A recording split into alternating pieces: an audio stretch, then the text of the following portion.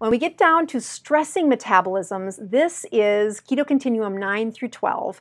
And again, the psychology of this phase is really important. This is a place where I really do like my patients to be using a blood meter. I want them measuring their Dr. Boz ratio. I want them measuring, did the fast get you the results that we need? And if there's one reason that I uh, unabashedly say the best lecture I've ever given is at the end of that online course. It's about fasting. It's about what happens on a ketogenic diet uh, when you fast versus what happens when you're insulin resistant and you fast and what happens to an athlete in their 20s when they fast and it's my favorite lecture. It really does summarize why do I do this every week? Why do I fast every week? And I measure my autophagy ratio. I don't like it. it's not fun, but it really is good for me and the example for my patients is just something I feel very called to do. So again, we don't want you doing this every day. I've had people try to do a fast every 48 hours, OMIAD, one meal every other day. But uh, it is, uh, that's a really big stress. You do need a healthy support system. Usually a, a ketone buddy doing it with you is uh, important. You'll see that I fast um, using one of these stressing metabolisms once a week. Uh, I start on the Sunday show. I usually go until I get a Dr. Boz ratio of 40. Um, I used to use the clock, and in this uh, in this uh, worksheet, I have used the the this the overview um, uh, of having a stressing metabolism uh, or stressing your metabolism and using the clock as your measurement of fasting. Uh, because it is this simple way to say, this is the place I begin to sort to say how well can you do this. Each of these fasts have a skill set with them. That first fast of 36 hours seems daunting to people the first time they do it. Uh, I will recommend to remember when you do a 36 hour fast, make sure you're clipping the coupon that the 16 hours of sleep, that means you have two sleep cycles in that 36 hours. That's how you get to 36 hours.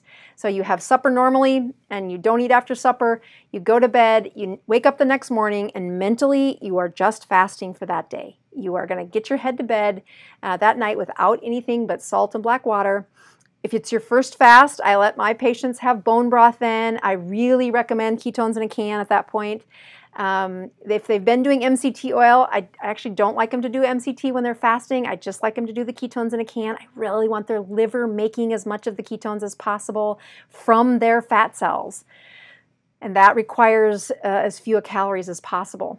So I say, yep, you can have ketones in a can for that. You can have ketones in a capsule for that.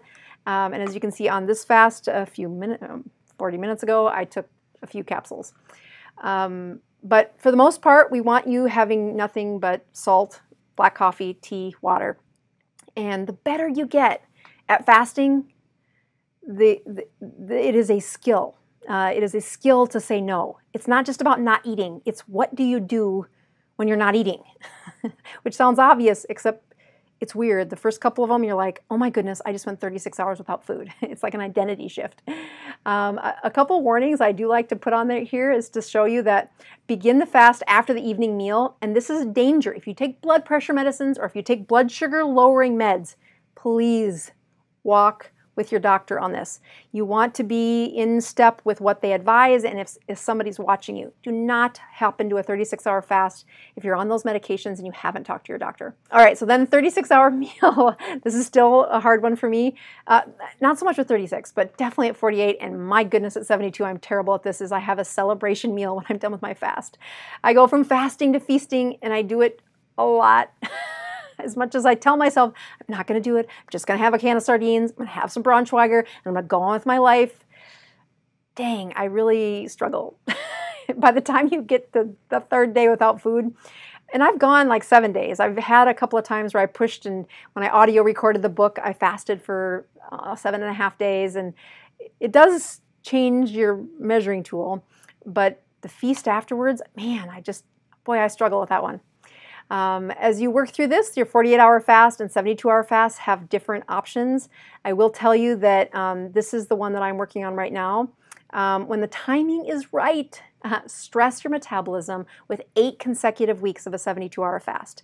And that is really where I have cleaned up people who, when they're ready, and they've I mean, these are the folks that write in and say, Dr. Boz, I've been on a ketogenic diet for a year and a half. I've been stalled. I feel really good. I just can't seem to get to the next level. I've done a few 36 hour fasts. I push them, and I, again, I select them pretty carefully of who I tell to do this, but say you need consecutive, at least six weeks of 72 hour fasting once a week. And what happens during those 72 hour fasts is they go from dabbling in fasting to really honing the skill of what it looks like to not eat for three days. Now, you cannot even talk about that when you are in uh, keto continuum number two or three or four. Uh, your body isn't ready for that. And the number of people that go from two meals a day and then they hop down to a 36 hour fast only to say, geez, I didn't feel very good, or I felt fine, but I just didn't have the energy you said I was going to have. What I contend is they don't know what it feels to feel fine yet. Those fat based hormones weren't high enough to support a fast.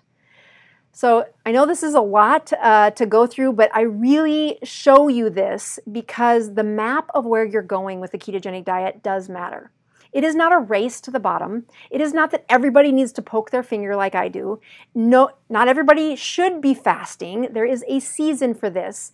And if your goal is to improve your health to the point where your immune system works better, you take care of a cancer like Grandma Rose did. Remember, she was nine months into that story before she did the fast of a lifetime, which lasted 40 days and it did save her life. It was amazing. And had we not been practicing a ketogenic diet, had her fat based hormones not been in good rhythm, she would not have survived. She would not have had that outcome. As I write this next book and as I get to the last few chapters here, talking about a patient who's going through this keto continuum and where he gets stalled and where he finds benefit and where he kind of struggles with his own, you know, mental demons for, for can he do this? Um, it really shows you what I've learned in the last five years about a ketogenic diet, how it fits in with the chronic illnesses of many of my patients, and then how do I march through and advance them slowly. Um, one of my the last this past week, I had a couple other people saying my my family member has cancer. Um, I saw I read your book. We're going to try and fast for 40 days, and I'm like, stop. Do not do that. You are taking an insulin resistant cancer patient on chemo fasting them for 40 days is not the right answer. They have got to be in a ketogenic state for a period of time before you can really push that, unless they're under strict medical supervision. When you look at the trials for people like uh, that are being treated for brain tumors or some of the even like pancreatic cancers that they're trying to use a ketogenic state to help that chemotherapy work better, they are they are checked incessantly. They're in the hospital on these things. So if your loved one has cancer and you want to use the ketogenic diet, the right answer is you do the ketogenic diet. You walk with them and you start at step one, step two, step three. That online course shows you where do people fall apart? Where do they not understand what's happening in their body? And how can you prevent that? It is super easy, but you got to have it in the sequence and, the, and in the timing for those people who really need it. All right, I hope that does show you why I wanted you to see the path of what I use in my practice, but also in life for coaching people on the ketogenic diet. Please subscribe to my channel. And don't forget to click the notification bell so you don't miss out on any new videos. Stay tuned.